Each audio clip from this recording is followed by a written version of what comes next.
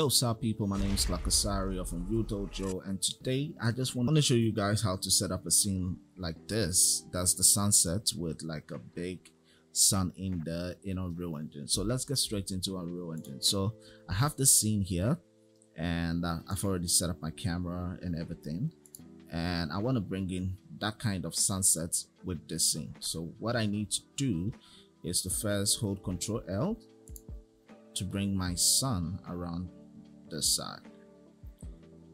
More like at the back of the character.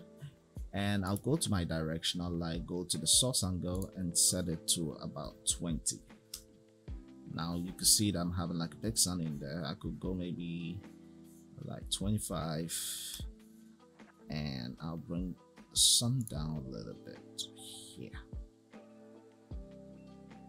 Great so the next thing I'm going to do is to go into the directional light and I'll click on my temperature, which I already have, and I'll just pull this to the left side just to get that kind of warm color in there.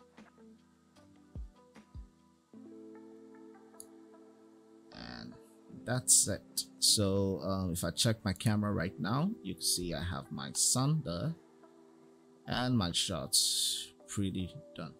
If you love this tutorial please visit my channel to get more tutorials and um, also leave a comment and subscribe to my channel. See you on the next side clockwise